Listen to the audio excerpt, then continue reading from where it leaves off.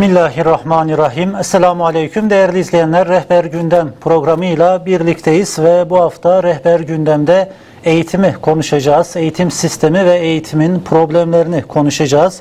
Ee, süremizin el verdiği oranda eğitime dair hemen her şeyi konuşmaya çalışacağız. Stüdyoda değerli bir konuğumuz var değerli izleyenler. Ee, Hüdapar Eğitim İşlerinden sorumlu Genel Başkan Yardımcısı Sayın Hasan Şahin bizimle birlikteler. Hasan Bey hoş geldiniz. Hoş bulduk.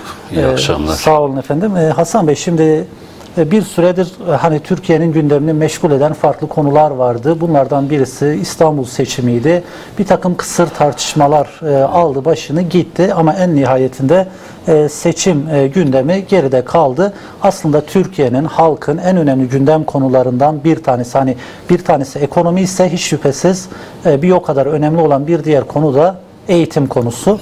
Dolayısıyla bu hafta eğitim konusunu inşallah ele alacağız. Okullar da e, tatile girdi. Yaz dönemi başladı. Yaz dönemi eğitimi de o anlamda e, devam ediyor diyebiliriz. Özellikle camilerde, Kur'an kurslarında. E, aynı zamanda bir eğitimcisiniz. Dolayısıyla eğitime dair e, süremizin el verdiği ölçüde hemen her şeyi konuşmak isterim. Dilerseniz bu eğitim sisteminde yapılan değişikliklerle başlayalım.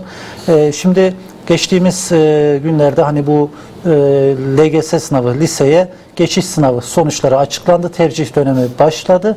E, fakat şöyle bir geçmişe dönüp baktığımızda LGS daha öncesinde e, tabii karışık olarak ifade ediyorum. OKS vardı, SBS, Evet, LYS, TEOK. TEOK. Yani neredeyse alfabede harf kalmadı. Bu sadece liseye geçiş sistemiyle ilgili isimlendirme ve e, onunla paralel olarak da değişiklikler söz konusu, sistemsel değişiklikler. E, baktığımızda üniversiteye geçiş sistemiyle ilgili benzer değişiklikler Aynı şey. var. Eğitim müfredatı ile ilgili değişiklikler var. E, tamam eğitimin hani doğası gereği sürekli güncellenmeye ihtiyaç Değiş- duyar ama bununla birlikte de bir yapboz tahtasına döndüğü de ortada. Dilerseniz buradan e, bununla başlayalım. Eğitim sisteminde yapılan değişiklikler ne anlama geliyor? Evet, öncelikle iyi akşamlar, hayırlı yayınlar Sağ diliyorum. olun. Sağ olun. Ee, malumunuz 14 Haziran'da e, okullar tatile girdi. Tatile giden tüm e, eğitim camiasına hayırlı tatiller diliyorum. Başarılı bir tatil geçirmelerini temenni ediyorum. Ee, tabii ki toplumlar için e, toplumlara toplumlardan özellikle geleceği düşünenler için eğitim kaçınılmazdır. Yani eğitimin tanımı üzerine fazla durmayacağız biz. Ee, geleceği düşünen toplumlar, geleceğe yönelik hesap yapan toplumlar, e, eğitime yeteri kadar değer veren, vermeye çalışırlar ve verirler de. Bugün e, dünyaya baktığımız zaman e, eğitime yeteri kadar değer veren toplumlar ve bütçelerinde yeteri kadar e, eğitime yeteri kadar pay ayıran devletler maalesef dünyada söz sahibi devletlerdir. Onun için e, özellikle şunu baştan belirteyim. Eğitim tek başına e, ele alınmamalı. Yani bir toplumun geleceğini düşünüyorsak ve bir toplumun e, geleceğini inşa etmeyi hedeflemişsek eğitim, siyaset ve iktisat üçlüsünü birlikte ele almamız lazım. Yani bu üçü birlikte ele alındığı zaman e, gelecekte inşa ettiğimiz toplumdan istediğimiz verimi elde edebiliriz ve istediğimiz veya hedeflediğimiz toplumu da inşa edebiliriz. Onun için eğitim derken sadece e, işin bilgi tarafını değil. Yani bilgi, donanım, beceri, yetenek, e, davranış yani bu hem bireysel anlamda hem toplum toplumsal anlamda e, ele alınmalı.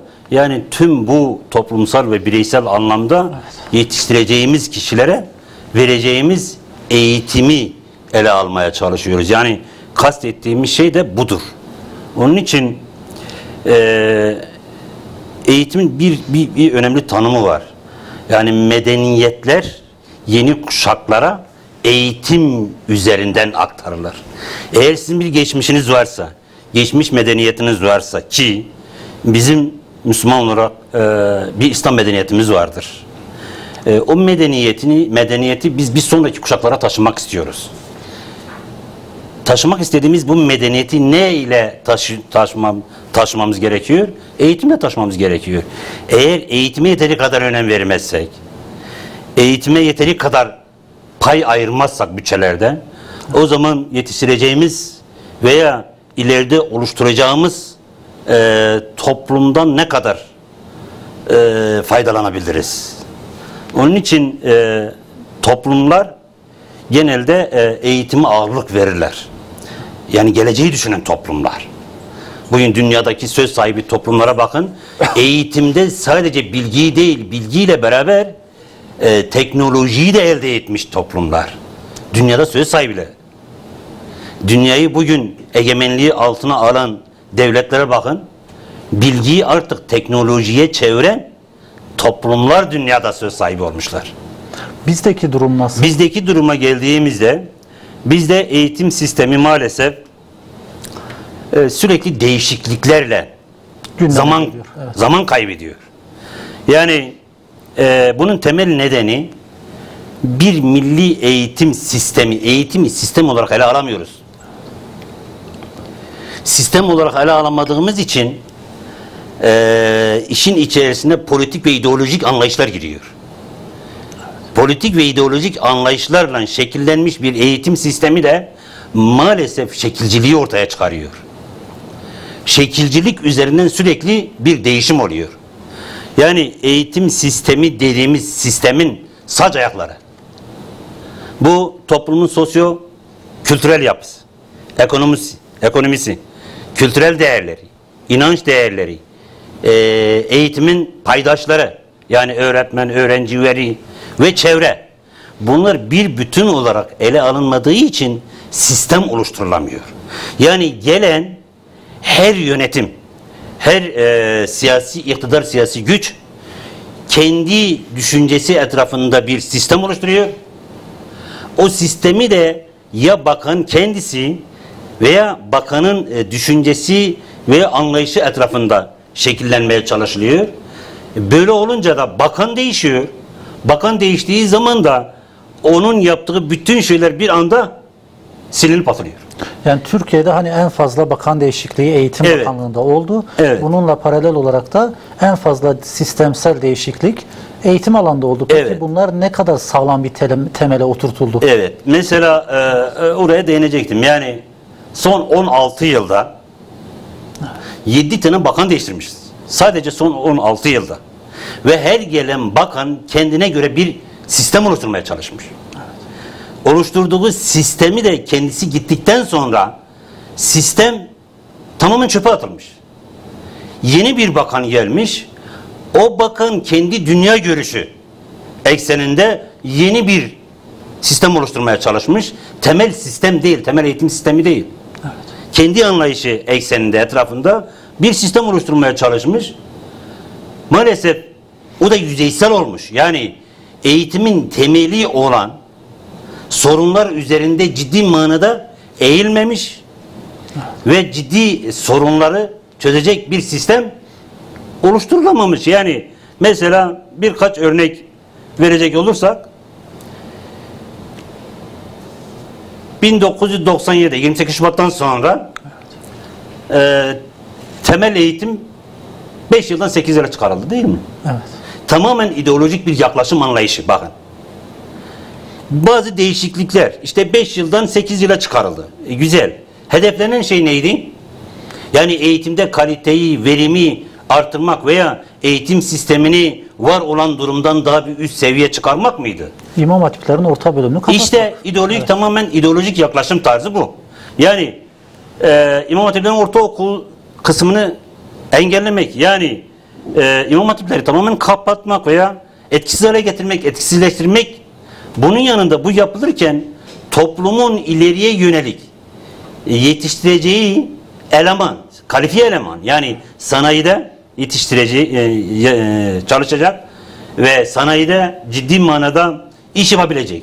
Evet. Kalifiye elemanın önünü de kestiğimiz gibi maalesef şu anda meslek liselerini tamamen öldürmüş duruma getirmişiz. Yani e, bir meslek sahibini bulmak artık zorlaştı. Yani siz bir ideolojik yaklaşımla olaya yaklaşırsanız eğitimi bugünkü seviyesine düşürürsünüz. E daha sonradan ne oldu? Aynı ideolojik yaklaşım işte e, çocukların yaşı üzerinden. Yani bir çocuğun okula başlama yaşı. Üzerine bakın dikkat edin hep şekil üzerinden. İşte beş buçuk ay, alt, e, altı yaş, altı buçuk, şu anda 69 ay. Yani meclise Evet. sunuldu. Ya Orada da bir e, dikiş tutmadı. Yani Tutmaz. da. 69 Tutmaz. ay, Yani daha önce 66 Evet. aydı. E, şimdi Tutmuyor. tekrar çıkartılıyor. E, bir ara 72 aydı yanlış hatırlamıyorsam. Evet. E, yani bütün bu değişiklikler sizce ne anlama İşte geliyor? bu onu onu buraya getireceğiz. E, sonradan ne oldu? Evet. 4 artı 4 artı 4 sistemi getirildi. Yani evet e, değiştirilen sistemde belki e, şekilsel olarak bazı faydalar var. Yani bazı güzel gelişmeler var. Ama şekil üzerinden sürekli bir değişim oluşursa her gelen bakan veya yönetim o şekli bir anda tamamen saf dışı edebiliyor. Tamamen etkisizleştirebiliyor. Böyle olunca bu sefer eğitimde istenilen kaliteyi elde etmede zorlanıyorsunuz. Çünkü yani normalde sizin eğitimde yapmanız gereken şey kaliteyi artırmak için neler yapmanız gerekir. Bunun üzerinde e, fazla kafa yorulmuyor. Neden? Çünkü eğitimin sistemi içerisinde yer alan tüm paydaşlar eğitimin içerisine alınmıyor. Mesela en basitinden Milli Eğitim Bakanlığı'yla YÖK. Evet. Yani bir, bir, bir sistem oluşturulacaksa YÖK bu işin içinde olması lazım. Akademisyenlerin olması lazım. Öğrencilerin, velilerin olması lazım. Bunun ötesinde toplumun değerlerini ön plana çıkarabilecek bazı e, değerlerin de işin içinde olması lazım. Mutlaka. Bunlar olmadığı zaman sadece yapılan şeyler alfabetik harf sıralaması var ya. O harflerin değiştirerek, yerlerini değiştirerek yeni yeni kelimeler üretirsiniz. Evet. Mesela bir diğer örnek, e, ilk öğretimde biraz önce siz de değindiniz. Sınavların isimleri değiştiriliyor. LYS, OKS oldu. SBS oldu. Değil mi? Yani e, OKS, evet. LGS oldu şimdi. Sürekli isim Tamam. değiştiriliyor ama şöyle bir istatistik duruma bakın. Yani ben gelmeden önce baktım. Ee, yıllardır bu işin içinde de çalıştım bu kurumda. Maalesef ee, sınav sisteminin isminin değişmesiyle öğrencinin ne davranışlarında ne e, bilgi seviyesinde ne donanımında ne kalitesinde bir gelişme olmuyor. Ee, peki biz bunun üzerinden devam edelim. Ee, yapılan bütün bu değişiklikler, sürekli değişen eğitim sisteminden bahsediyoruz. Müfredatla ilgili, sınav sistemleriyle ilgili e, ve e, genel anlamda eğitim sistemiyle ilgili. Bütün bu değişiklikler öğrenciyi, veliyi e, ve eğitimin kalitesini nasıl etkiliyor? Yalnız şöyle bir şey daha var. Yani milli eğitim politikalarında maalesef e, bir istikrar ve süreklilik görülmüyor. Yani temel problem burada. İstikrar yok. Yani oturup da cidden bu toplumun eğitim seviyesini, eğitim kalitesini ve bilimsel bilimsel anlamdaki gelişmeleri bu toplumda nasıl etkin hale getirebiliriz? Ee, bunun üzerinde e, ciddi manada e, böyle kafa yorup bir e, sistem oluşturma anlayışı olmadığı için süreklilik arz edilmiyor. Yani bir, bir, bir istikrar yok. Her değişen yönetim veya Milli Eğitim Bakanı ile birlikte çoğu şeyler bir bakıyorsunuz değişti. Böylece yani eğitim artık yaz boz tahtasına döndü. E şimdi böyle olunca e, eğitim kalitesi üzerinde nasıl bir başarı elde edebilir? Yani etki gösterebilir? İm- Eğitim sistemi öğrenciyi ve eğitim kalitesini olumlu olumlu yönde etkilediğini söyleyebilir miyiz? Yani sürekli değişen bir sistem. Mümkün değil. Sınav sistemi değişiyor. Sınav sistemiyle beraber ders kitaplarındaki içerikler de değişiyor. Şimdi buna öğrenci ayak uyduramıyor tabii ki. Evet. Öğretmen de ayak uyduramıyor. Yani öyle hızlı değişik ben çok iyi hatırlıyorum. Daha bizim dönemimizde bir bakanın şöyle bir ifadesi vardı. Yönetmenlik ve genelgelerde çok hızlı değişiklikler olacak. Bunu biz yazı olarak gönderemeyiz. Siz bizi televizyonlardan veya medyadan takip edin. Şimdi hızla değişen şeylerin e, takibi nasıl olacak? Evet. Yani E bir bunun- kere sağlam bir temele oturması Sağlam lazım. bir temele oturtulması lazım ki gelen insanlar o temelin üzerinde yeni yeni şeyler inşa etsinler. Ama sağlam temel olmayınca eğitim tabii ki e, yaz boz tahtasına döndüğü gibi artık yamanlanacak bir durumu da kalmadı. Yama vurulacak bir tarafı da kalmadı. Maalesef. E, öğrenci şu anda sadece sınavı düşünüyor. Sadece sınav üzerinden e, eğitim sistemi götürülüyor. Böyle bir şey olabilir mi? Yani toplumsal hayatı tamamen bir tarafa itmişiz. Çocuğun toplumla ili toplumla olan ilişkilerini tamamen koparmışız. Çocuğun hayata dair hayal dünyasını yıkmışız. E, tamamen bir sınav maratonu üzerinden eğitim sistemi oluşturmaya çalışıyoruz. Evet. Ee, peki Onun için, dilerseniz bunun e, üzerinden e, daha genel Evet. eğitim politikaları ile ilgili de bir değerlendirme yaparsanız yani e, şimdi son yıllarda tamam dedik ki hani son 16 yılda 7 bakan değişti.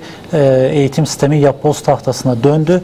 E, ama e, bununla birlikte hani daha geriden baktığımızda yani en başından Türkiye'de eğitim politikaları ile ilgili ciddi sıkıntıların olduğu da ortada. E, diğer taraftan fiziki olanaklar biraz iyileştirildi. Doğrudur. E, zaman zaman Sayın Cumhurbaşkanı da ifade eder içeriği doldurma noktasında yetersiziz diye itiraflarda da bulundu. E, bunun üzerinden bakarsanız eğitim politikaları sizce ne kadar başarılı? Şimdi şöyle bir şey söyleyelim eee, bir önceki konuya bağlantılı olarak. Evet. Yani eee, dünya sıralamasında eğitimde 99. sıradayız. 120-130 ülke arasında Türkiye olarak 99. sıradayız. Yapılan bütün bu değişikliklerin ortaya çıkardığı tablo budur. Demek ki çözüm değil. O değişiklikler sadece yüzeysel olduğu için sorunu çözmüyor. Politikalar, eğitim politikaları meşhur bir söz vardır. Bir toplumu özgürleştiren de, köleleştiren de izlemiş olduğu eğitim politikalarının bağrıdır. Eğer bir toplum kendi varlığını dünya sahnesinde göstermek istiyorsa, ben de dünyada söz sahibi, ben de dünyada belirleyici bir toplumum demek istiyorsa, öyle bir iddialı, öyle bir hedefi varsa, eğitim politikalarını mutlaka sağlam zeminler üzerinde oturtulma zorunda ve eee, maalesef eee, ideolojik anlayışla, anlayıştan tamamen arındırılan bir eğitim sistemine bir an önce geçmek gerekir. Tarihimizde eğitim politikalarına bakın. Tamamen ideolojik yaklaşımlar. 1923, 1938, 1938, 1950, 1950, 60, 60 ile 80, 80 sonrası yapılan eğitim e, politik oluşturulan eğitim politikalarına bakın. Temelde hedefledikleri bir tek şey vardır. İdeolojik anlayışı topluma benimsetmek ve toplumu o ideolojik mantık etrafında tek tipleştirmek. Dönüştürmek. Evet. Tek dönüştürmek. Yani şimdi e, mesela milliyetçilik laikliğin egemen olduğu 23 38 döneme bak. 38'den 50'ye kadar olan döneme bakın. Milliyetçilik, laiklik, batılılaşma dönemi var. Ondan sonra liberalizm, liberalizm mukaddesatçılık dediği geleneksellik. Ondan sonra Kemalizmin tamamen hakim olduğu bir ideolojik yapılanma. Şimdi böyle bir e, yapılanma içerisine olan bir eğitim politikası veya böyle yapılandırılan bir eğitim politikasında bireyler nasıl yetişir? Bireysel bireyler nasıl üretir? O toplum nasıl e, bilimsel anlamda istenilen seviyeye gelebilir ve bilimsel çalışmalar yapabilir? Nasıl üretken bir toplum olabilir? Evet. Şimdi e, küçük bir film var. Belki daha izlemişsiniz daha önceden bilmiyorum. Ali Atabak. Bizim aslında eğitim politikalarımızın özetlendiği bir film. Zamanınız olursa bakın ona. Şimdi biz de yıllarca okullarda öğrettik. Ali Ata bak. Ali Ata bak, bak, bak ama görme. Bak, bak ama düşünme. Bak, bak ama anlama. Bak, bak ama üretme. Şimdi böyle bir eğitim ideolojik bir eğitimdir. Bakacak ama görmeyecek. Düşünmeyecek. Anlamayacak. E anlamadığı bir şeyden nasıl yeni şeyler üretecek? Yeni düşünceler, yeni fikirler nasıl ortaya çıkaracak? Böyle bir şey olabilir mi? Mümkün değil. Onun için eğitim politikalarında temelde hedeflenen şey ideolojik yaklaşımdır ki bizdeki batı taklidi bir anlayıştır. Eğitimde şu anda var olan daha sonra e, değineceğiz. Eğitim felsefesinin temeli batı taklidi üzerinde kurulmuş. Yani batıda bazı eğitim alanında gelişmeler olmuş. Bu gelişmelere bakmışız. Bunlar niye gelişmişler veya bunu nasıl geliştirmişler? Düşünmemişiz. Almışız oradan olduğu gibi getirmişiz buraya. Bir müddet kendi insanlarımız üzerinde veya kurumlarımız üzerinde uygulamaya çalışmışız ama maalesef uyum sağlayamamışız. Şimdi biz baktığımızda hani 1923'ten bugüne evet gerçekten de e, o tek dipçi e, Jacoben uygulamaların işte e, resmi ideolojinin hani bir anlamda e, yayıldığı re- resmi ideoloji doğrultusunda e, öğrencilerin ve öğrenciler üzerinden de toplumun dönüştürüldüğü birer e, mekan okullar ve bu anlamda da bir eğitim politikası izlendi. Bugüne baktığımızda e, değişen ne? Yani e, neresinde eksik var? Bu eğitim politikalarıyla ilgili e, hala o temel hatalar var mı? Maalesef. Yani eskiye oranla özellikle AK Parti hükümet döneminde bazı e, güzel gelişmeler oldu. Yani özellikle dindar nesil yetiştirme, okul cami buluşmaları, çocuğun özellikle manevi yönüne temas noktasında e, bazı şeyler oldu ama bu 15 Temmuz e, olayından sonra e, bu yeni eğitim, Milli Eğitim Bakanı ile birlikte 23 vizyonu falan bu e, liselerdeki değişimle ilgili değişikliklere baktığınız zaman yani halen evet bazı gelişmeler var. Yani bazı olumlu adımlar var.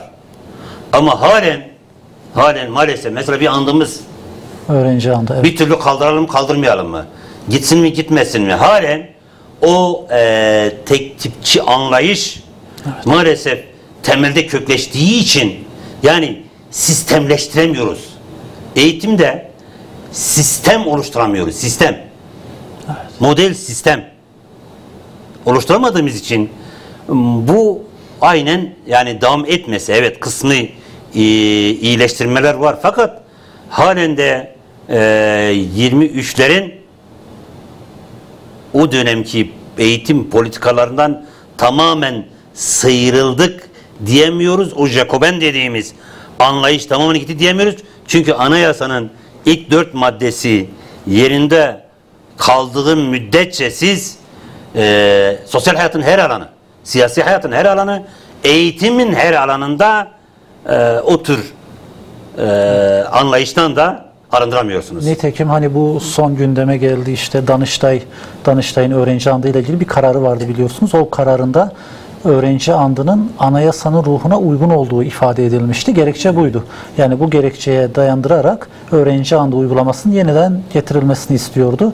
Ee, ifade ettiniz yani anayasal bağlamda evet ciddi sorunlar var. Dolayısıyla öğrenci andı vesaire buna benzer Bir örnek daha verebilirim. Orası buyurun. Sayın Çelik. Buyurun, buyurun. Mesela son e, liselerdeki değişimlerle ilgili dersler.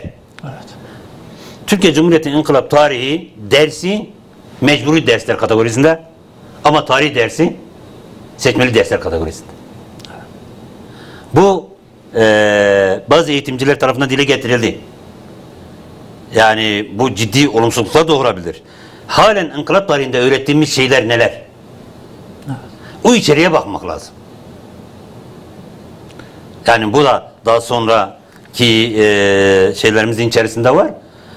Şimdi bu o içerik devam ettiği sürece ders kitaplarında e, hakikaten bizim e, değerlerimizle, kültürel değerlerimiz, inanç değerlerimizle, e, kendi medeniyetimizle yakından uzaktan ilgisi olmayan o anlayış o kitapların içerisinde olduğu sürece biz e, bunlardan tamamen e, kurtulmuşuz veya bundan tamamen arındırılmışız diyemeyiz yani. Mutlaka, mutlaka. Peki dilerseniz yine konular birbiriyle Evet. bağlantılı.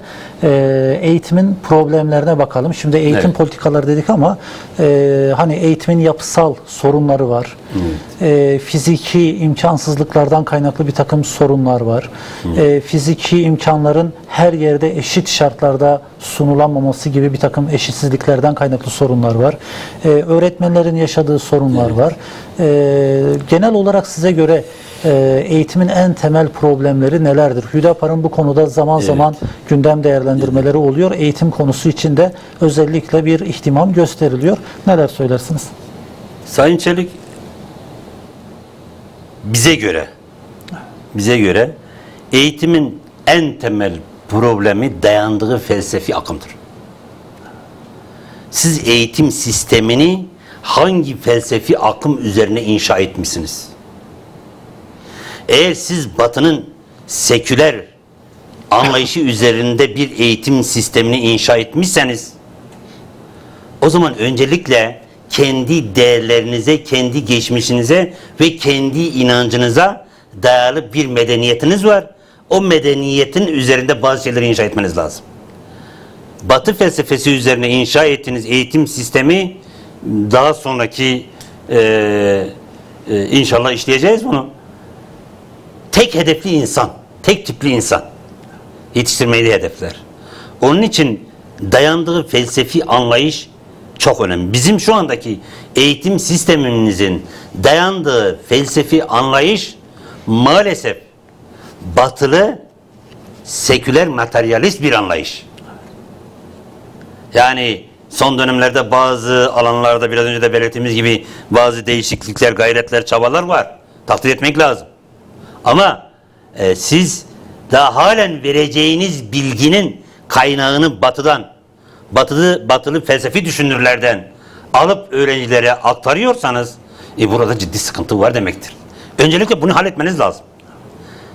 Kendi medeniyetinizi ileriye taşımak istiyorsanız sizin bir medeniyetiniz var. İslam medeniyetinin ortaya koyduğu bir felsefi anlayış var. Hedeflediği bir amaç var. O amaç doğrultusunda siz eğitim sistemini ve politikalarını geliştirmek zorundasınız.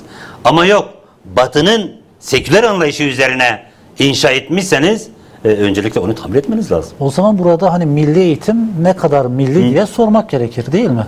E, tabii ki sormak lazım. Yani bunu e, ne kadar milli, ne kadar kendi halkının değerlerini ön plana çıkarıp veya halkının değerlerini dikkate alınarak hazırlanmış. E, buna bakmak gerekir diye düşünüyorum. Ee, peki Tabii müfredat. edelim. Evet. ciddi bir sorun. Yani e, siz e, müfredatı istenilen seviyeye ulaştırma e, e, ulaştırma gayreti içerisinde olmazsanız müfredatta ciddi manada değişiklikler yani müfredat bir eğitimin temel esasıdır. Yani bunun içerisinde planlama, programlama, dersler, pro- e, öğrenciler, materyaller her şey onun içerisinde var. E, Siz şimdi bunun bir bütün olarak ele almazsanız değişiklik yapıyorsunuz ama ders kitaplarınızda halen sizin değerlerinize uygun olmayan içerikler var. Ve çocuklarınız o içeriklerle yetiştiriliyor. Müfredatta ciddi manada bir değişime gidilmesi lazım. Sadece şekilsel olarak değil. Temelde öze yönelik olarak bazı değişikliklerin yapılması lazım. Bir önce belirttiğimiz gibi eğitim politikalarında standart bazı şeylerin oluşması gerekiyor. Artık e, her gelene göre değişmeyen, hükümetler dahi değişse politikaların değişmediği, kısmen tabii ki eğitim değişken bir şeydir. E, toplum değiştik, değiştiği sürece veya değişim söz konusu olduğu müddetçe eğitimde de bazı değişiklikler olur kısmı ama temelde değişmeyen bazı şeyler vardı. Onları sağlam zemin üzerine oturtmanız lazım. E, dediğimiz gibi yani e, mesela ezberci eğitim halen devam ediyor. Ya bu ciddi bir problem. Milli Eğitim Bakanı'nın geçenlerde açıkladığı e, liselerdeki değişimle ilgili inceledim baktım. Evet e, şekilsel olarak bazı olumlu güzel yönler var. Ama dikkatimi çeken bir şey vardı orada. Özellikle öğrencilerin yetiştirilmesiyle ilgili, yani öğretim ayağıyla ilgili hey diye bir şeyden bahsediliyor. Evet. Hey. Nedir bunun açılımı? Hayal, etkinlik ve yaşam. Evet. Hayat, Ya etkinlik, hayal, hayal, hayal, Hayal, gücü. hayal, evet. evet. Şimdi yıllarca yıllardır bizim üzerinde durduğumuz, eğitimlerin üzerinde, eğitimcilerin üzerinde durduğu, pedagogların özellikle eee sunduğu ve tavsiye ettiği düşünen toplum, düşünen insan. Şimdi düşünemiyoruz.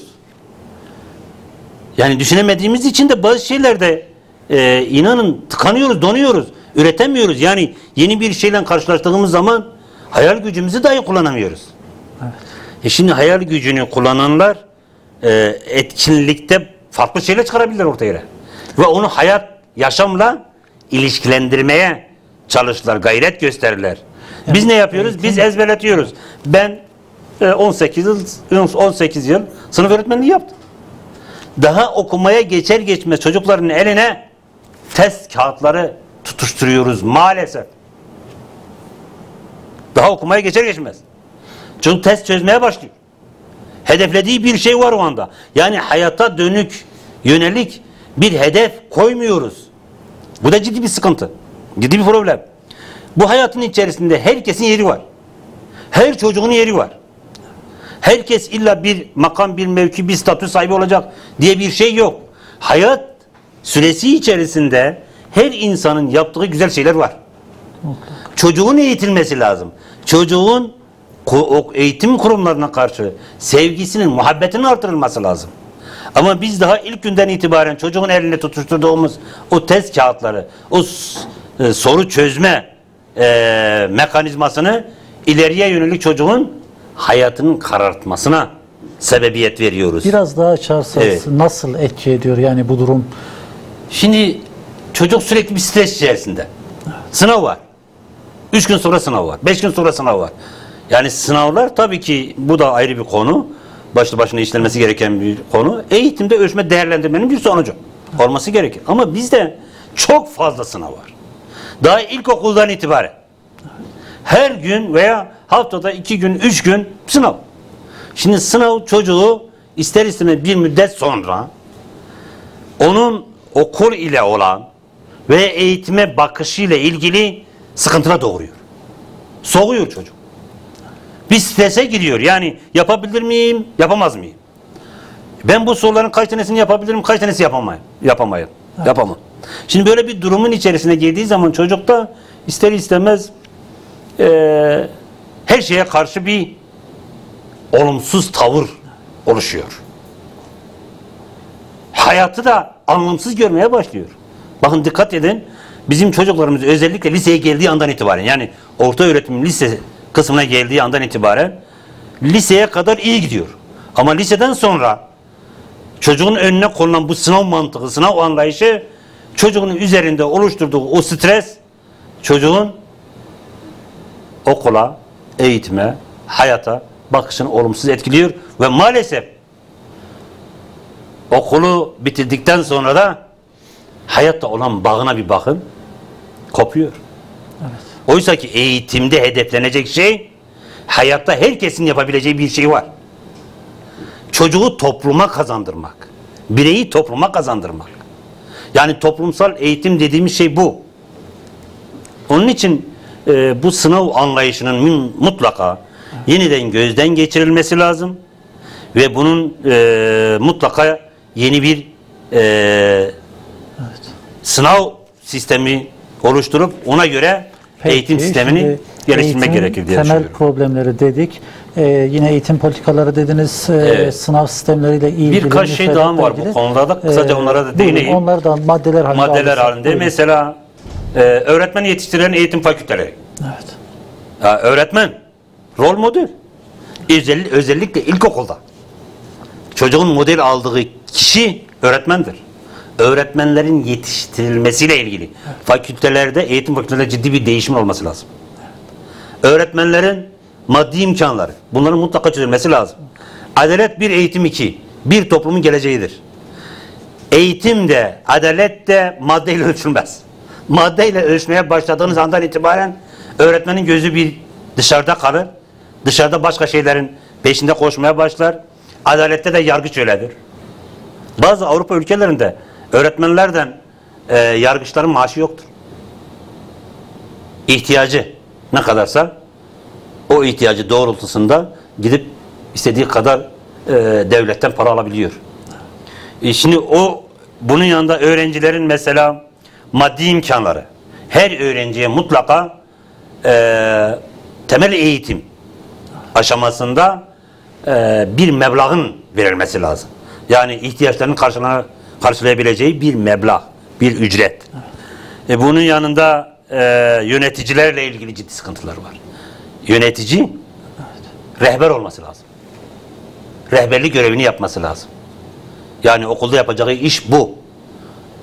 Şöyle bir durum var. Evet. Yani ben e, kendi çocuklarımı işte gönderdiğim okuldan da biliyorum. E, yani idareciler okulun e, fiziki e, eksikleriyle ilgili yani gereğinden fazla onunla meşgul olmak zorunda kalıyorlar. Evet. İşte e, hizmetlerin maaşıydı, ödendi, ödenmedi.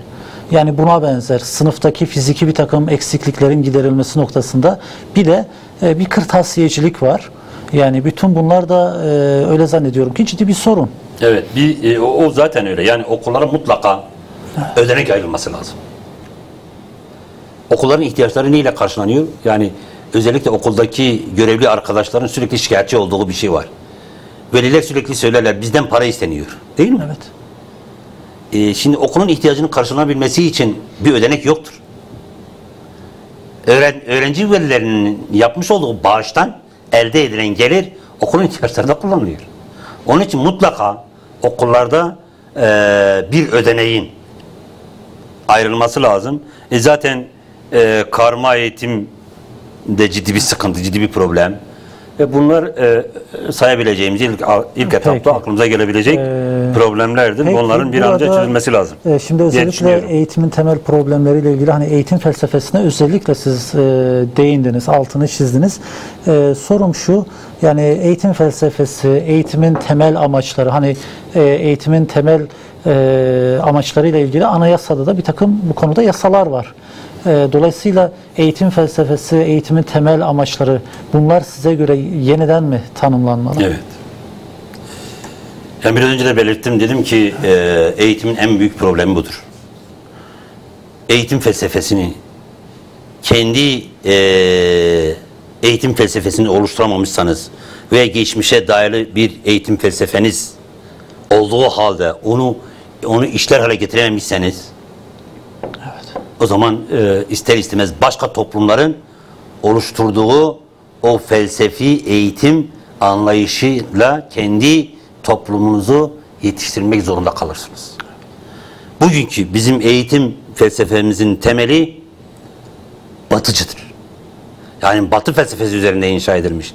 Batı felsefesinde hedef seküler ve makyavalizm üzerinde inşa edilmiş. Yani Batı felsefesinin özü budur. Ve pragmatiktir değil mi? Olabildiğince. Çıkarcıdır tamamen. Şimdi neyi hedefler?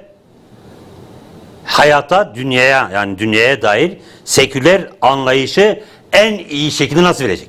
Yani dünyevi işlerde en başarılı nasıl olabilecek? Böyle bir hedef koyuyor. Batı felsefesinde şu anda var olan da budur. Şimdi bu eee, insanın fıtratına aykırı bir felsefi anlayış. İslam'ın eğitim felsefesi. İslam'ın eğitim felsefesinde temel yaklaşım insanı çift yönlü görür ve çift yönlü bir hedefe odaklar.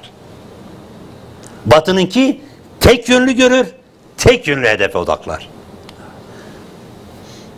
İnsan madde ve ruhtan ibaret değil mi? Evet. Yani insanın maddi tarafını doyurduğunuz gibi mana tarafını da doyurmanız lazım. Mutlaka. Bunu çift yönlü bir hedefe odaklar. Nedir çift yönlü? Hem dünyevi yani maddeye hem de uhrevi bir geleceğe.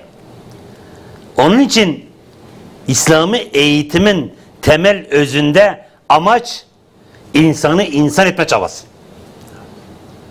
İnsanı insan etme. Yani bizde erdemli insan diyoruz ya. Erdemli insanı hedefler. İslam'ın eğitim felsefesinin amacı budur.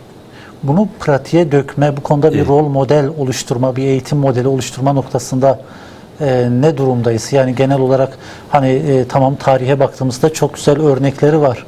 E, işte e, dünyaca ünlü bir takım bilim insanlarını hani yetiştiren eğitim sistemi söz konusu ama Evet. bugüne baktığımızda durumun çok iç açıcı hani olduğunu söyleyemeyiz. Dolayısıyla bu konuda yani işi teoriden pratiğe dökmedeki sıkıntı ne? Sıkıntı şu yani biraz önce söyledik ya medeniyetlerin aktarımı nesillere eğitimle olur. Kendi medeniyetinizi ne kadar tanıtmışsınız? Bakın eee, eğitimin amaçlarında tarihsel gelişim diye bir şey var. Mesela tarım toplumundan Helenistik dönemden, Roma döneminden, İslam medeniyetinden, alın sanayileşme döneminden ve bugüne gelen. Burada hedeflenen, amaçlanan eğitim anlayışıyla bizim medeniyetimizin oluşturduğu eğitim anlayışını kıyaslayın. Arada çok büyük farklar çıkacak. Şimdi bizim bir medeniyetimiz var. Yani ikra ile başlamışız. Bilenlerle bilmeyenler bir olur mu demişiz. Hazreti Peygamber aleyhissalatu vesselamın kolaylaştırın, zorlaştırmayın, sevdirin, nefret ettirmeyin dediği temel ilkelere sahibiz.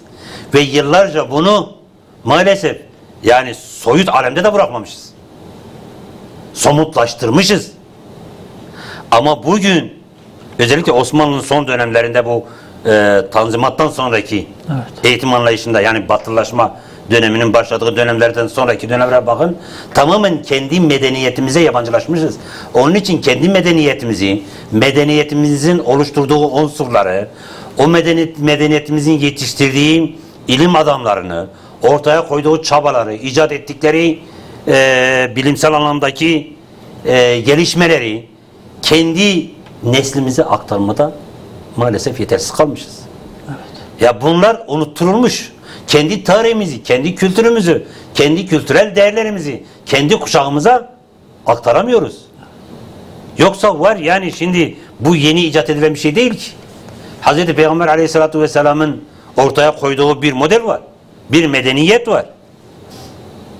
O dönemde Roma ve Bizans'a karşı oluşturulan bir medeniyet var. Ve o medeniyette de erdemli insanı hedefleme.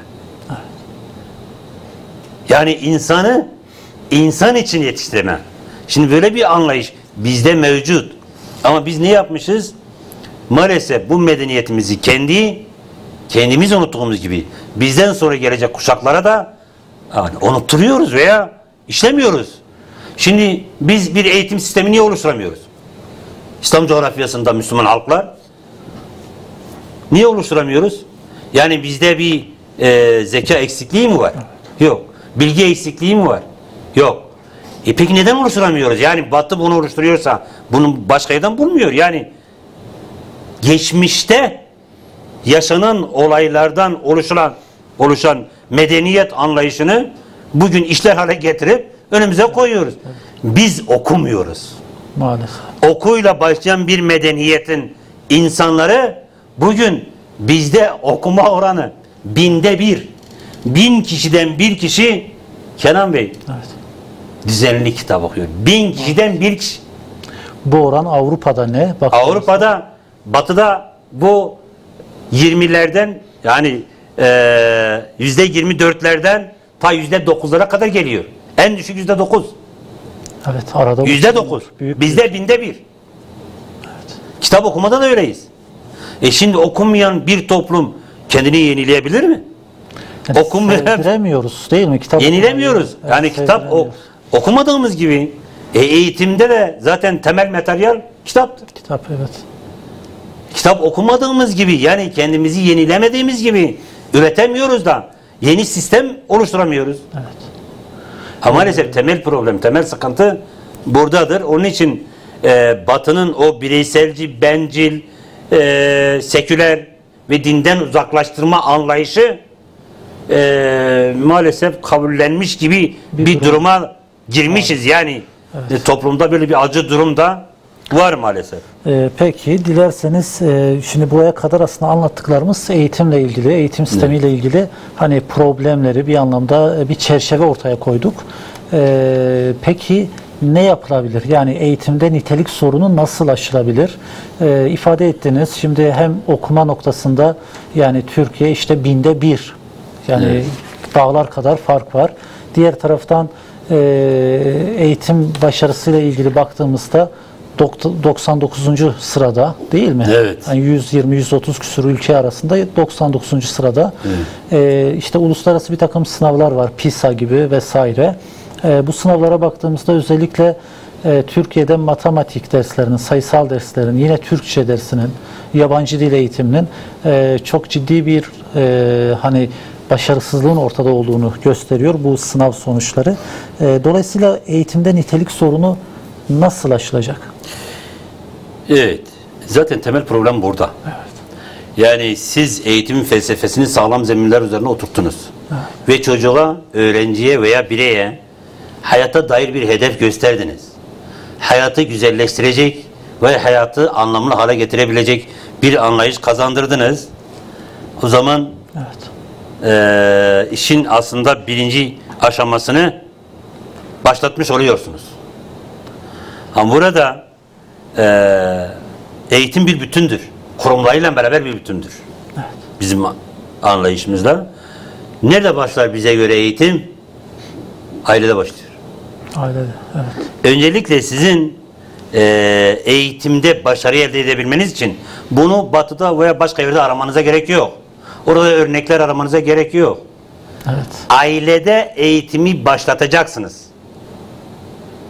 Çocuğun doğup büyümeye başladığı yer ailedir. Onun için eee, niteliği artırıcı birinci temel unsur aileye gerekli değeri vermeniz. Ama maalesef batının o bireyselleştirici, bencilleştirici, dünyevileştirici mantığı anlayışı bize de sirayet ettiği için biz ailenin içini boşaltmaya başladık. Aile yavaş yavaş bu özellikle son dönemlerde İstanbul Sözleşmesi adı altında e, çıkarılan kanunlar e, aileyi etkisizleştirme anlayışı, ailenin için boşaltma anlayışıdır. Aileyi bitirme anlayışıdır. Yani ailedeki bireylerin, anne baba çocukların arasındaki o mükemmel diyalogu, yakınlığı bitirme anlayışınız. Şimdi bu anlayış aileyi bitirir. Eğer siz bu anlayışla devam ederseniz aile çöker. Aile çöktüğü andan itibaren toplumda bireysellik ön plana çıkar. O bireyselleştirdiğiniz insanlar da topluma nasıl faydalı olur? Toplumun bileşenlerinden biri değil midir?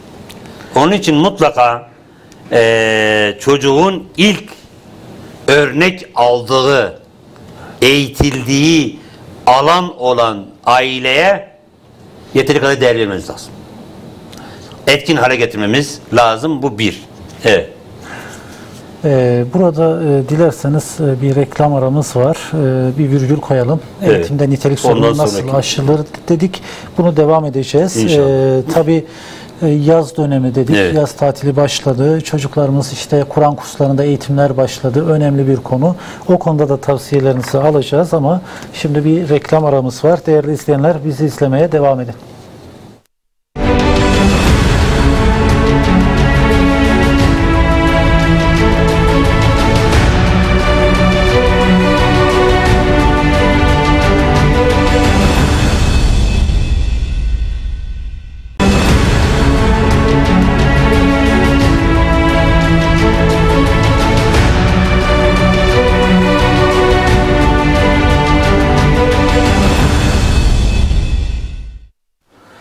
Değerli izleyenler yeniden birlikteyiz ve Rehber Gündem programına kaldığımız yerden devam ediyoruz. Bu hafta Rehber Gündem'de eğitime dair süremizin el verdiği ölçüde eğitime dair her şeyi konuşuyoruz dedik ve e, ilk bölümü tamamladık. Devam edeceğiz. Değerli izleyenler eğitim konusu hiç şüphesiz ki önemli bir konu. E, bugün e, belki de uzun yıllardan beri e, daha ziyade kısır tartışmalarla e, gündemler işgal edildi, ediliyor. Ancak eğitim konusu ihmale gelmez, hayati öneme sahip bir konu. E, biz de eğitim e, konusunu aldık. Eğitim sistemi ve problemleri dedik. Bu anlamda e, adeta yapboz tahtasına dönen eğitim sistemi, eğitim sistemindeki değişiklikler, bu değişikliklerin öğrenciye ve genel olarak eğitimin e, başarısına olan etkilerini konuştuk.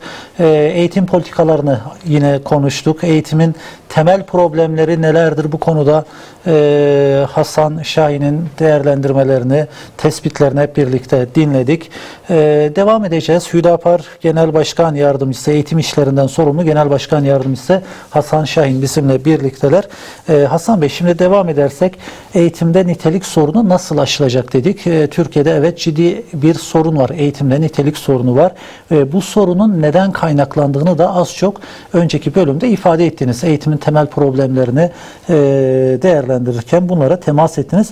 Peki bu sorun e, nasıl aşılacak demiştik. E, buradan devam edersek buyurun. e, niteliği artırmak için e, önceki bölümde zaten e, eğitimin felsefesi, müfredatı, programları e, üzerinde durmuştuk. En son aile e, ciddi bir etkendir eğitimde demiştik. Yani özellikle e, bizimki Müslüman toplumlarda yani aile kutsaldır. Mutlaka. Şimdi çocuğun e, ilk eğitiminin gördüğü e, yer ailedir. Ailenin için boşaltılırsa, etkisizleştirilirse e, o zaman çocuk kimi rol mo- model alacak? Yani daha aileden itibaren eğer bunu almazsa ki biz e, şunu iyi biliyoruz. Çocuğa olumlu davranışların kazanıldığı yer ailedir. E, bizim anlayışımıza göre eğitim e, bir ibadettir Evet. ibadet anlayışına sahibiz. Yani eğitirken bir nevi ibadet yapmış oluyoruz. Ee, değerlerimizin öğretildiği yer aile. Onun için anne babanın davranışları çocukları çocuklar üzerinde olumlu veya olumsuz Evet. etki yapabiliyor. Onun için mutlaka ama mutlaka aileyi eğitimin e, olmazsa olmaz Evet. narından yapmamız lazım. Yani, Yani- birileri aileyi küçümseyebilir, aileyi dışlayabilir, bireysel mantığı ön plana çıkarabilir, yani bireysel anlayışı ön plana çıkar, çıkarabilir. Ee, ama özellikle Müslüman toplumlarda toplumsallaşma dediğimiz veya sosyalleşme dediğimiz anlayışın temeli ailede atılıyor. Ee, burada için şuna da değinmemiz acaba gerekmez mi? Yani hani son dönemlerde özellikle e, tırnak içerisinde modern toplumlarda Evet.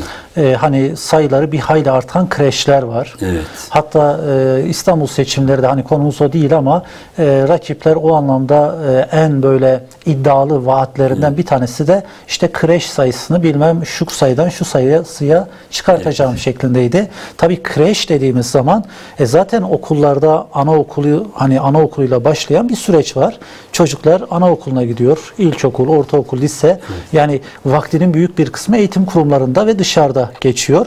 Oysa çocuğun ailesiyle, annesiyle, babasıyla ne kadar çok vakit geçirirse hani özellikle çocukluk dönemi açısından son derece önemli. E şimdi bir de biz kreşler üzerinden yani daha küçük yaşlarda çocukla anneyi, çocukla aileyi ayırma yoluna gidiyoruz. E, bunu da bir iki cümleyle değerlendirirseniz. E, Zaten e, yani kaliteyi arttırmanın bir başka e, yolu da odur. Yani okul öncesi eğitimdir. Bunlar e, anaokullarda olabilir, kreşlerde olabilir. Ama bu yani bu çocuğu şimdi aileden koparmıyor mu? Evet. Şimdi zaten oraya değineceğim. Yani e, küçük yaşta çocukları siz e, aileden kopardığınız andan itibaren ailenin içi zaten boşaltılmış, daha da etkisizleştirilmiş hale getirmiş oluyorsunuz. Evet. Yani onun için e, evet küçük yaştan itibaren çocukların eğitilmesi şart. Ama burada devlet e, batıda olduğu gibi çocuğu aileden kopararak yalnızlaştırma yerine aileyi aileye bir, e, bir şekilde maddi yardım verilerek ama bu bizim e, kendi programımızda var. Yani özellikle ailede çocuğunu yetiştiren anneler için e, maddi imkanlarsa maddi imkanlar. Yani herhangi bir sorunu, problemi veya e, maddi maddi imkansızlıkları varsa bunların aile içerisinde giderilmesi lazım. Bunu anne tarafından. Onun için annenin ve babanın eğitildiği toplumlarda çocuğun eğitim seviyesi de yükseliyor. Yani bu sınavlardaki sonuçlardan biri de budur. Ee, bir yandan çocuğu eğitirken aile de eğit- eğitmiş oluyoruz. Ha, onun için mutlaka ama mutlaka e, okul öncesi eğitimde e, eğitim verilirken aileden kopuk bir eğitimin olmaması lazım. Eğer illaki olacaksa e, onu da kendi değerleri içerisinde kendi değerlerini yabancılaştırmadan küçük yaştan itibaren çocuğu e, o anaokulu veya kreşlerde yetiştirirken o değerlerinden uzaklaştırmadan e, eğitimi vermek ve yetiştirmek e, gerekir ki çocuk e, küçük yaştan itibaren neyi alırsa bu e, ileriki yaşlarda hayatında olumlu veya olumsuz e, etkilere neden olabiliyor. E, niteliği arttırmak dedik. Varsa Evet. birkaç cümleyle toparlayın lütfen. E, tabii burada özellikle şuna dikkat etmemiz lazım. Yani maddeler arasında sıralayacağız. Yalnız okul öncesi veya ilkokullarda özellikle hani çocuklarımızın değerlerinden uzaklaştırmama, yıl sonu etkinlikleri yapılıyor. Küçük yaştaki çocuklara e, yapılan etkinlik adı altında programlara baktığımız zaman rezaletler var. Yani daha küçük yaştan itibaren çocuğumuza e, tabiri caizse değerlerinden, değerlerinden uzaklaştırıp böyle kendisine yabancı olan bir hayat anlayışını bir nevi alıştırıyoruz. O davranışları kazandırmaya çalışıyoruz. E, bunlar ciddi problemlerdir, ciddi sıkıntılardır ve niteliği de e, olumlu yönde etkilemesi gereken olumsuz yönde etkiliyor çocukların. E, öğretmenlerin özellikle yani çocuk ilkokuldan itibaren özellikle rol model olarak öğretmeni alır.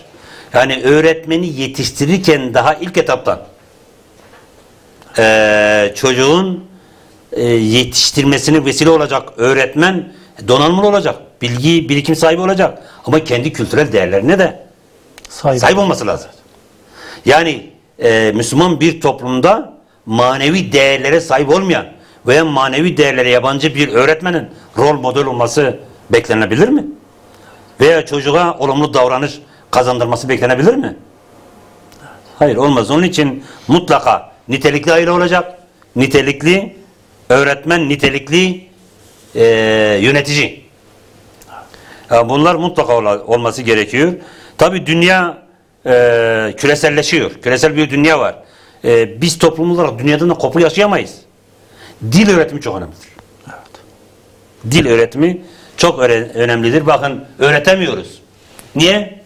İşte temel sıkıntılarımızdan biri budur. Nitelik artmıyor. Niye artmıyor? Ya öğretemiyoruz ya sevdiremiyoruz. Ya öğretimde sıkıntı var. Evet. Ya da çocuğu sevdiremiyoruz. Çocuk severek okula bir müddet sonra gitmiyor. Yani ilkokuldan sonra özellikle orta öğretimde, lisede çocuğu zorla göndermeye çalışıyoruz. Bunun farklı nedenleri var tabi. çocuğa sevdirme ortamı, zemini hazırlamak lazım. Şimdi çocuklarımız mesela e, dil eğitimi dediniz. Evet. Dil eğitiminde başarısız öğretemiyoruz. E, matematik dersini öcü gibi görüyorlar. E, Bu da ayrı bir Yani sayısal derslerle ilgili genelde problem var. E, Türkçe'de de aslında çok iyi bir İşte- durum yok. E, böyle bir Temel bir sıkıntı var. Yani orada Evet. öğretme ve sevdirme noktasında ciddi bir sıkıntımız var. Burada dil e, konusu deyince e, bir parantez açmak Buyurun, istiyoruz. Şöyle. Şimdi ilkokul ikinci sınıftan sonra İngilizce öğretmiyor muyuz? Sözlü Üniversite son sınıfına kadar. Evet. Ama maalesef e, üniversiteyi bitirdikten sonra hayata başlayan bizler e, o dil ile ilgili doğru düz konuşamıyoruz. Meramımızı, derdimizi anlatamıyoruz. O zaman bir yerde bir sıkıntı var. Mutlaka. Öğretimde mi sıkıntı var? Yöntemde mi sıkıntı var? Öğretim metotlarından bir sıkıntı var. Yani içerikten bir sıkıntı var. Mutlaka bu sıkıntının aşılması lazım. Yalnız burada dil eğitimi derken özellikle bugün Türkiye toplumunun e, büyük bir kesimi Kürttür. Evet. Biz yabancı dili öğretiyoruz ama kendi Ana insanımızın ana dilini öğretmiyoruz. Ha, bu ciddi bir sıkıntıdır. Bakın e, bir bölgemizde konuşulan bir dile mensup bir topluluk var. Bir millet, bir kavim var. Şimdi o kendi kardeşimiz olarak kabul ettiğimiz e, devleti yönetenler bunu söylüyor zaten. Kardeşimiz olarak kabul ettiğimiz kişilerin dillerini öğretmekten aciz kalıyoruz. Ve buna X diyoruz. Bilinmeyen dil diyoruz. Yani mutlaka ama mutlaka ha bu kaliteyi artırmıyor mu? Bu eğitimde kaliteyi artırdığı gibi toplumsal ilişkilerimizde de kaliteyi artırır. Mutlaka. Yani siz Kürtçeyi bilip doğuya geldiğiniz zaman batıdan veya buradaki Türkçeyi öğrenip batıya gittiği zaman nasıl kendini rahat ifade edebiliyorsa, konuşabiliyorsa, sorunlara daha güzel çözüm getirebiliyorsa e, özellikle bürokraside görevli öğretmen ve diğer e, kesim e, bu dili e, öğrendiği zaman toplumsal iletişim ağları daha da güçlü oluyor. Ha, onun için mutlaka Kürtçenin eğitim dili olarak e, devlet yetkililerinin bir el atması lazım. Yani bu soru çözmeleri lazım. Peki Evet. efendim. Ee, Ee, bir iki madde daha var onları. buyurun. Projeler. Özetlerseniz. Özetlersek projeler. Batı e, eksenli projelerin okullarda uygulanmasına kesinlikle fırsat verilmemeli. Çünkü projelerin büyük çoğunluğu Batı'nın hayat anlayışı, yaşam tarzının e, bizim eğitimimize aktarımı. E şimdi bir taraftan da küreselleşme diyoruz ama nasıl bunu biraz Evet, daha açar mısınız? küreselleşirken e, olumlu olan, şimdi bilgi akışkandır. Evet. Bunun toplumu, bunun batısı, doğusu, kuzeyi fark etmiyor. Orada olan buradaki alır, buradaki yani bugün Batı'nın aldığı bugün bilginin büyük çoğunluğu Endülüs e, Emevi İslam devletinin, devleti, evet. İslam devletinin e, o dönemki altın çağı dedikleri dönemlerden alıp Peki buraya gelmiş. burada sorun teşkil eden ne? Sorun teşkil ed- eden şu yani projeler üretilirken Avrupa Birliği bu derin bir konudur. Avrupa Birliği projeleri genelde Avrupa'nın e, hayat anlayışı ve yaşam tarzının e, küçük yaştan itibaren çocuklara aktarılması. Et cep gibi Et cep mi? gibi, evet, et cep gibi ve benzeri birçok proje var. Bu konularda e, hem idarecilerin, öğretmenlerin, top, velilerin yani toplumun genelinin duyarlı olması lazım. E, özellikle e, bizim eğitim anlayışımızda e, Allah, kainat ve insan Evet. üçgeninde mutlaka ama mutlaka e, bir yapının oluşturulması, eğitim yapısının oluşturulması, derslerdeki içeriklerin de bu üçgen etrafında e, geliştirilip öğrencilerin mana yönüne mutlaka e, etki edecek e, çalışmaların ortaya konulması gerektiği kanaatini taşıyoruz. Peki. Onun için, onun için diyoruz ki bizim hedefimiz insanı insan etme çabasıdır. Amacımız budur. Peki efendim. Evet. Şimdi e, önemli bir konu var ama öncesinde bir iki cümleyle kısaca özetlerseniz şimdi e, eğitimde hani en temel sorunlarımızdan bir tanesi de fırsat eşitliği, adalet ve fırsat eşitliği konusunda ciddi sorunlar var. Bunu da sınav sistemleri üzerinden belki biraz ifade ettik ama bir iki cümleyle özetlerseniz e, yani e, tabii ifade ettiniz. Şimdi ilkokuldan başlıyor birçok sınav var. Sonra üniversiteye giriş sınavı sonrasında kamu personel alımı ile ilgili sınavlar. Ama bunlar yetmiyor mülakatlar var. Yani sınav sınav sınav. E, bir de e, burada 16 yıl 20 yıl hani normal e, eğitim kurumlarında geçen bir süre var. E, bu 20 yılın emeği gelip de işte mülakatlarda bir de heba ediliyor. Belki ayrı farklı derin bir konu ama bir iki cümleyle bu fırsat eşitliği ve adalet konusu üzerinden Şimdi özellikle adalet konusu e, tabii eğitim açısından adalet konusu diyoruz. Herkese e, yani siyaset imkanlar ve kaynaklar diyoruz ya. Toplumun tüm bireylerine adil bir şekilde götürülmek zorunda. Yani bir hareket, bir parti bizimki hedefimiz de budur. E, toplumda bu üç şeyi hedefler. Yani siyasette adaleti sağlamaya çalışır. imkanlarda ve kaynaklarda. Şimdi imkanlarda adaleti sağlayabiliyor musunuz? Yani bugün Doğu ile, e, illeriyle, Güneydoğu illeriyle, Batı illeri arası veya e, İstanbul'daki okulların büyük çoğunluğuyla Hakkari, Yüksekova ve Ağrı'daki okullarda aynı e, eşit şartlarda e, eğitim imkanlarını götürebiliyor musunuz? Yok götüremiyorsunuz. Adaleti sağlayabiliyor musunuz bu konuda? Eğitim, sınav sisteminde bunu da sağlayamıyorsunuz. Bakın sınava giriyorlar. Sınava giriyorlar. E, bugün mesela dün açıklanan LGS sınavlarına bakın. Öncekilerine de bakın. E, maalesef son 20-30 son 20 30. sıralarda yer alan iller Doğu Güneydoğu illeri. Evet. Tesadüf olamaz. Tesadüf olamaz. Yani burada ciddi manada ya fırsat eşitliğinde yani herkese eşit oranda bazı şeyler getirilmemiş. Yani bu e, öğretmen, bu okulların fiziki durumu, bu maddi imkanlar yani e, hangi açıdan bakarsanız bakın ciddi manada bir fırsat eşitsizliği var. Sınavlarda adalet diyoruz. Şimdi Hakkari Yüksekova veya Ağrı'da veya Elazığ'da veya Diyarbakır'ın bir köyünde e, ortaokul liseyi bitirmiş bir öğrenciyle İstanbul'da kolejlerde veya fen liselerinde veya imkanı olup da kurslarda maddi imkanı olup da kurslara giden öğrenciye aynı soruları soruyorsunuz. Evet. Sonuç eşit olarak bazı şeyleri e, almaya çalışıyorsunuz. Bunun imkanı var mı? Mümkün değil. Evet. E şimdi sınavlarda da böyledir. Çocuk da ilk okuldan itibaren sınav, sınav, sınav, sınav. En son üniversiteyi kazanıyor. Üniversiteyi bitirdikten sonra hayata dair hayalleri var, düşünceleri var. Geliyor mülakatlara giriyor. 90 puan alıyor, 95 puan alıyor. Mülakata içeri giriyor. 2 dakika. Yani o insanın hayal dünyasını 2 dakikada bitiriyorsunuz. Neye takıldınız? Güvenlik soruşturmasına takıldınız. Sorduğunuz soru nedir mülakatta? Geçen KDK'nın e, bu konuda bir açıklaması vardı. Şey, verdiği bir karar vardı. Mülakatta sorduğunuz sözlü sorular cevapları yok ortada. Ne cevabını verdi bu?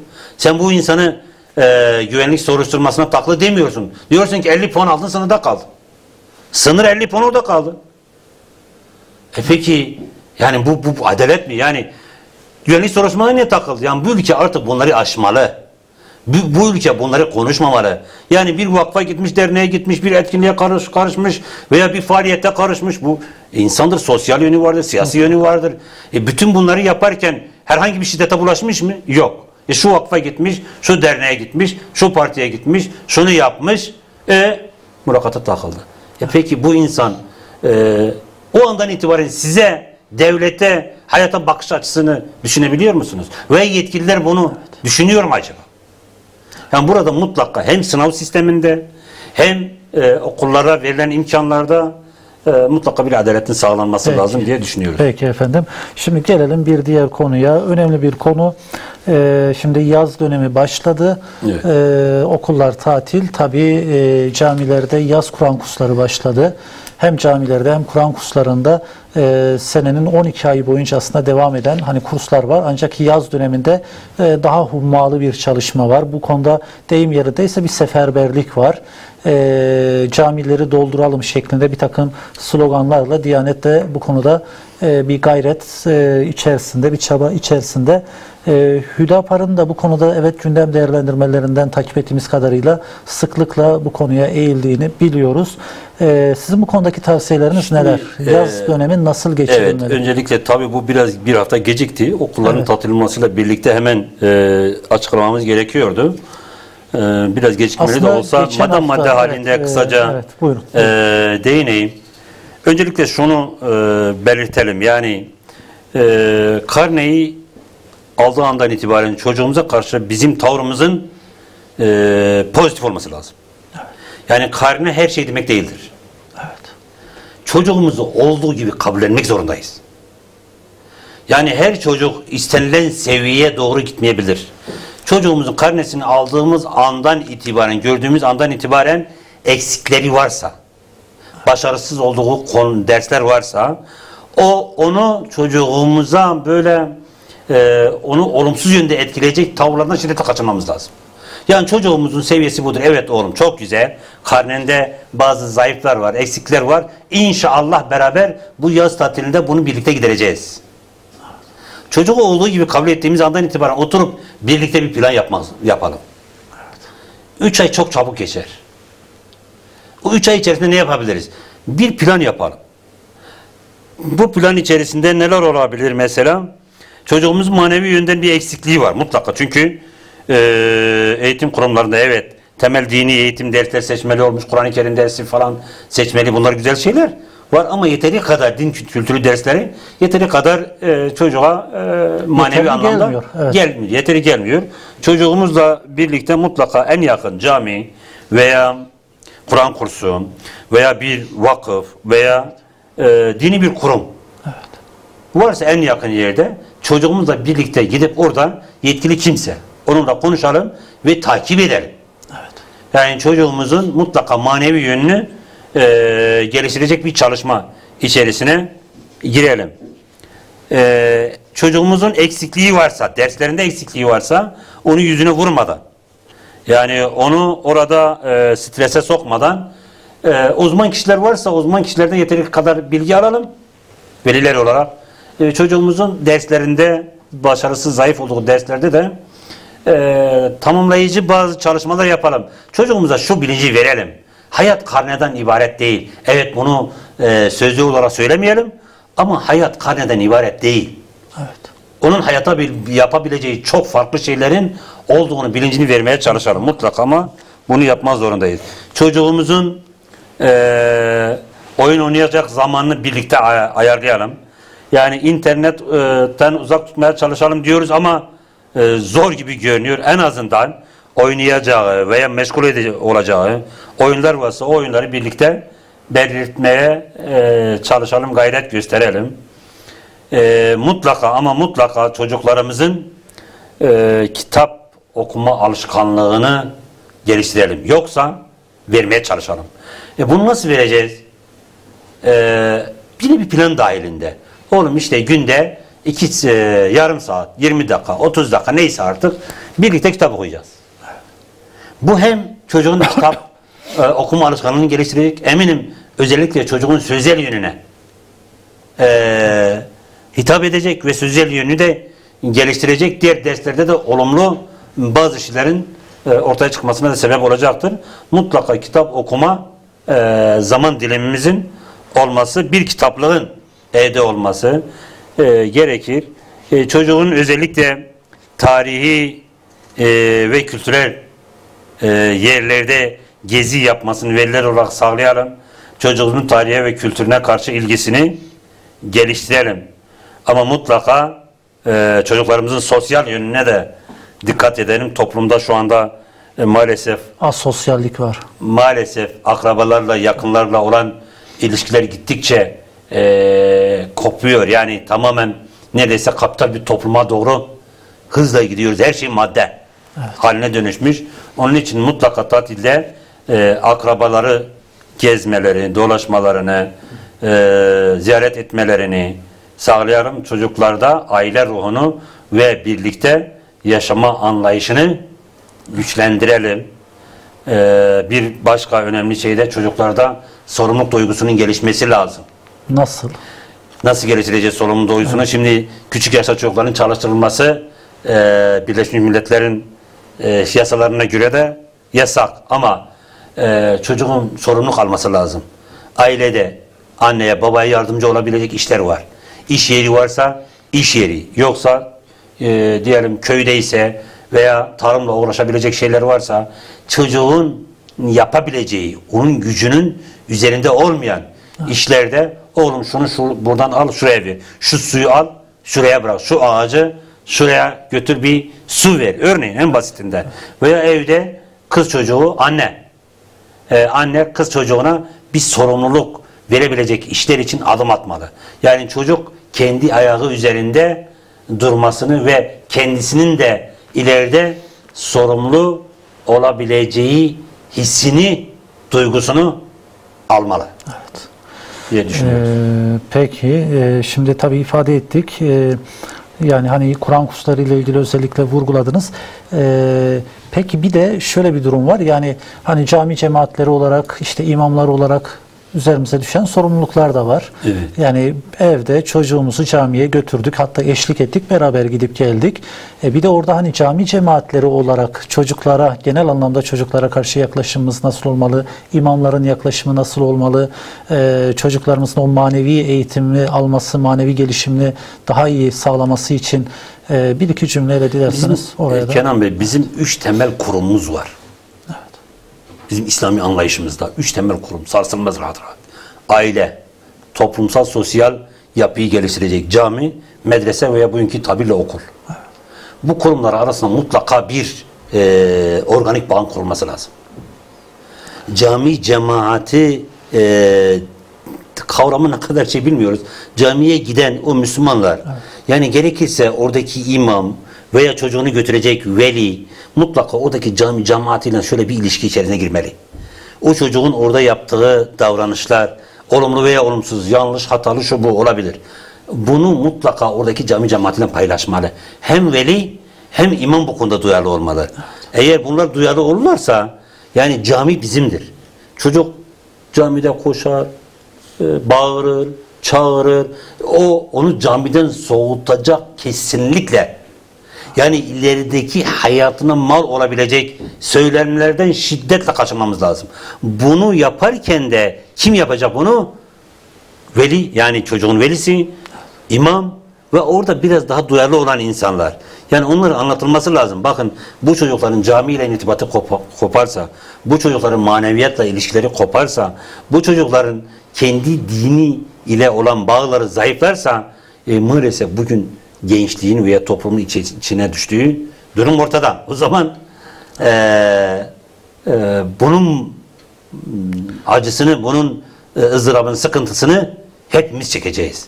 Yani bu konularda e, öyle bir iletişim olursa e, eminim cami cemaati de e, e, duyarlı olur. Yani onlar da onların çocuklarıdır. Onlar da Peki. mutlaka kendilerine Ee, düşen görevi ve sorumluluğu Peki efendim ben e, katkılarınızdan ötürü çok teşekkür ediyorum. E, yararlı bir program oldu. Önemli tavsiyelerde ve tespitlerde bulundunuz. Teşekkür ederim. Sağ olun. Ben teşekkür ederim. Bu fırsatı verdiğiniz için tekrardan tüm eğitim camiasına hayırlı tatiller e, diliyorum. Bizleri izleyen tüm izleyicilere de hayırlı akşamlar diliyorum. Sağ olun efendim. Siz de Evet değerli izleyenler Hüdapar Eğitim İşlerinden sorumlu Genel Başkan Yardımcısı Sayın Hasan Şahin bizimle birlikteydi. Ee, eğitim sistemi ve problemleri dedik. Ee, eğitimde nitelik sorunu nasıl aşılır? Eğitimin temel problemleri neler? Ve e, bunun gibi eğitimle ilgili e, süremizin el verdiği ölçüde konuştuk, değerlendirdik. Yaz dönemiyle ilgili öğrencilerimize yönelik e, hocamın tavsiyelerini hep birlikte dinledik. Önemli tavsiyelerde bulundular. Ee, özellikle çocuklarımıza rol model olmak, onlara örnek e, olup onlarla birlikte e, camiye gitmek veya işte kitap okumak, sosyal etkinlikte bulunmak noktasında önemli tavsiyelerde bulundular. Ümit ederim ki yararlı olmuştur. Ee, programın sonuna geldik. Yeniden görüşünceye dek hoşça kalın. Allah'a emanet olun.